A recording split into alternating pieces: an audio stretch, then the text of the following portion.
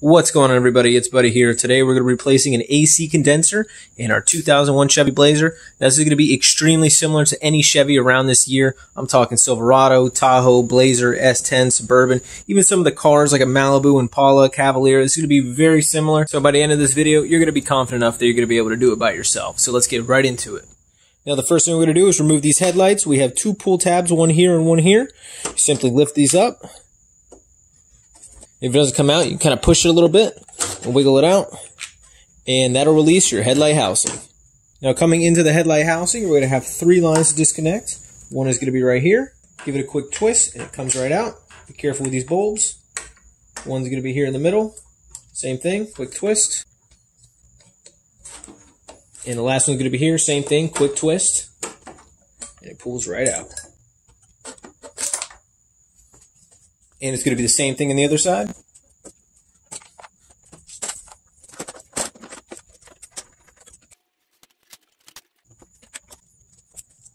Now, as we come into the empty headlight housing, you're going to see it does have some clips. There's going to be one right here, one right here. Mine is broken up there. You're going to have two right here, one and two. And then the same thing on the other side. You have one clip there, what is broken. Inside here, we're going to have one, two, and then we're going to have another one right in there. So now to get these clips off, just give it a simple pull. And then the same thing on the other side. Now at this point, it's going to give us better access to our blinker bulbs. We're going to take this, same procedure, give it a twist, pull it straight out. Same thing on the other side. And I'm definitely going to recommend taking your bulbs, getting a zip tie, and putting them in the corner all nice and pretty.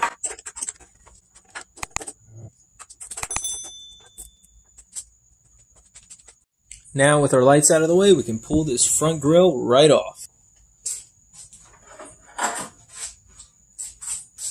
And now that we've got the grill off, we're going to zoom right in here. And hopefully your situation with the rust is not as bad as mine. So we're going to take this bolt off here.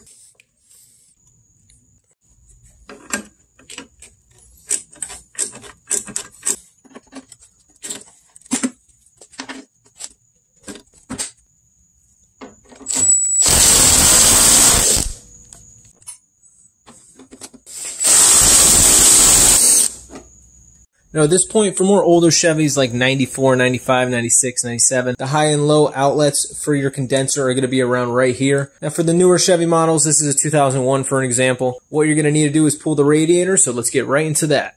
Alright, so we got one, two, three 10 millimeter bolts holding in our fan shroud.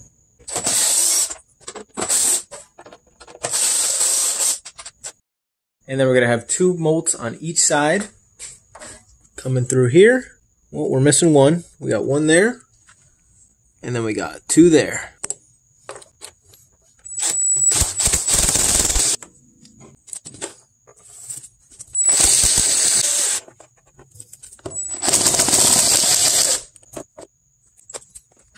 Then we should be able to pull this right out. And now it's time to go under the car. Right here by our front right tire. We're going to have this little lever. If you twist it, you'll see it'll start to drain the radiator fluid. So we're going to get a catch pan. Throw our catch pan under. And turn the lever.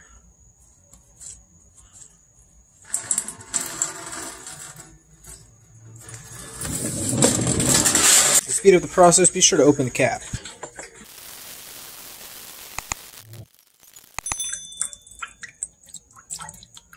So now that we're all drip dry, we're going to close this valve.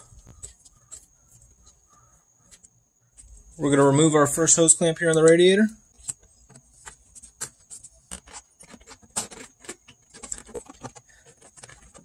Now right under the radiator hose we removed, there's going to be your oil cooler line here. We're going to be removing that next.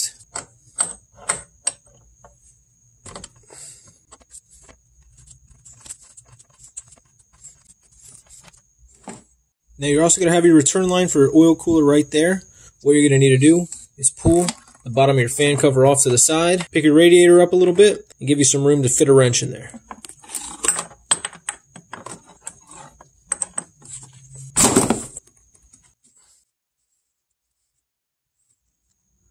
Now that we've got those undone, we're going to move over to the left side of our radiator. And we're going to have our transmission cooler here on this side. Another hose clamp behind it. And then a return line for our transmission cooler as well.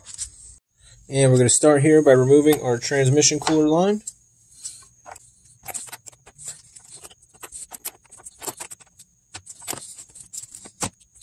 And right under that line, we have our hose clamp down here.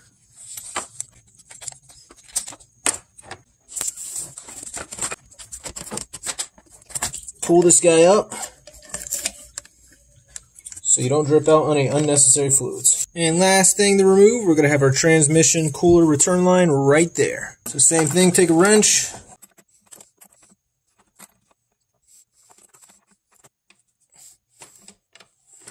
And then you pull your radiator straight out. And also be sure to leave a thumbs up and subscribe if you're finding the video helpful. So now with our radiator out of the way, we have a beautiful workspace here. So what we're going to have is a little bolt here that we're going to be taking off. And on the other side, it's going to be the exact same thing here. I'm going to start here by removing the right one.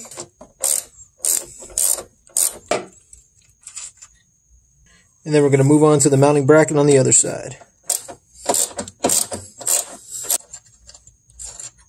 Now the last thing we're going to need to remove to get our condenser out is behind this little flap. We're going to have two nuts there. And then right here, we're going to have this bracket holding in our condenser to these lines. Now, once everything's said and done, you will need to properly refill your AC system with oil and everything. I'm going to have a video I'm going to put right here on how to properly fill up your AC system after you replace a part. So I'm going to start with the two bolts going to the condenser.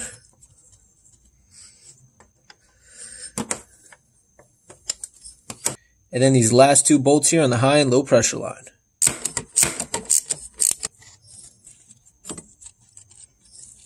Now we're going to take our wrenches and fit them on our AC lines. Give them a good crank. And here goes the low pressure line. So now we're going to take this plastic flap, move it over the side. That way our condenser lines are free to move around. And now that we got the condenser out, I want to show you guys, this one actually does come with a bracket. It is riveted in, so you can't undo it. So this old bracket, you can go ahead and throw it in your scrap pile. Now this one I got did come on Amazon. I will put a link in the description. If you guys want to click on that link and buy it here from my link, it actually helps me out a little bit, and I would really appreciate it. Now a few quick things before you just slam the new condenser in there. You want to take these off, because it's definitely going to be easier to take these off while it's on the ground as opposed to in the car. And you hear how the pressure came out of it. That way you know there's no leaks in your new condenser before you install it. They do pull vacuum on these to keep all the moisture out of the system. So if you don't hear that suction noise, it's no good. Send it back, get a new one. That way you don't have to do this job again. Now another important thing to note here, with your bracket, you want to make sure that it is tucked in right here in this corner. So you pull this guy apart a little bit, and you're going to slide it right there in that corner. And this part here is where you secure it to the vehicle to keep it nice and stable. And also, if we come down here, you're going to see there is a little piece of rubber that the condenser slides right here in this gap. Now, mine have seen better days, obviously, especially this one. Make sure they don't fall out because sometimes they can actually fall out when you pull the condenser out. So be sure they're in there before you slam the new one in. Another thing as well, be sure you check your gaskets here on your low pressure line and your high pressure line just to make sure everything is looking good. Mine are looking pretty fresh. There's no cracks, there's no rips, there's no tears. So now that we checked our gaskets, we made sure our rubber is in place on the bottom. We put our mounting brackets here on the top of the condenser and made sure when we took these off that there was still vacuum pressure here in the condenser. Now we are ready to go. So now we're going to take our ready to go condenser and we're going to put it in the vehicle. Now before I secure the condenser, what I'm going to do is plug in my high pressure line because this is the hardest one to get to.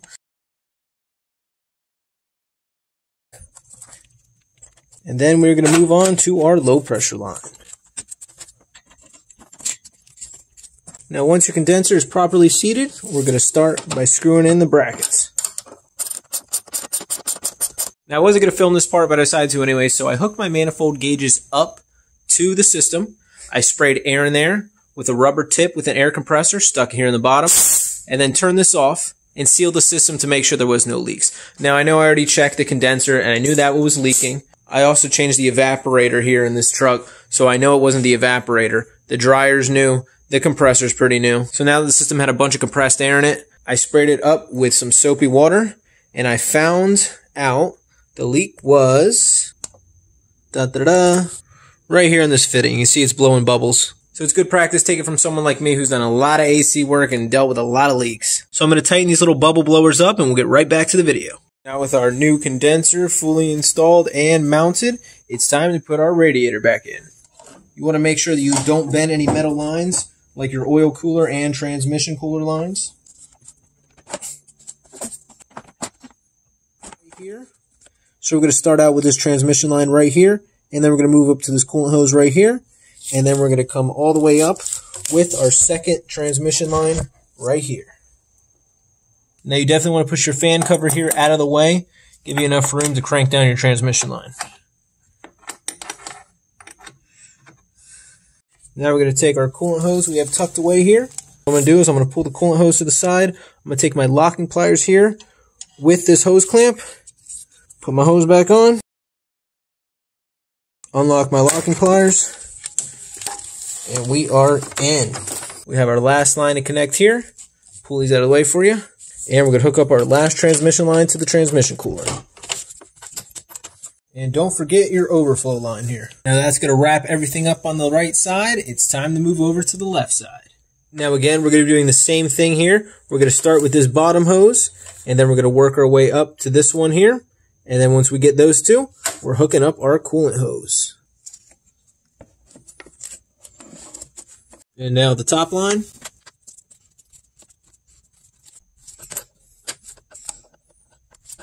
And then we're going to hook up our coolant hose. And now we're going to take our fan cover, put it back on, and be sure when you bend these lines here to be careful because these are the AC lines. We just did AC work, so we don't want to create any leaks. Now we're going to secure our fan cover with these three 10 millimeter bolts. And then moving back down here, we do have two more bolts that secure the bottom of the fan cover to the top part and this is on both sides. And the last thing to do is fill up your radiator and put your cap back on. If you enjoyed this video, give me a thumbs up. And as always, if you enjoyed the video, please hit that little thumbs up button. It really helps me out more than you guys know. And also, definitely consider subscribing. I put some videos here that are pretty cool that I'm hoping you guys will enjoy. So check my channel out and see if it's something you'd like. Have a good one, guys.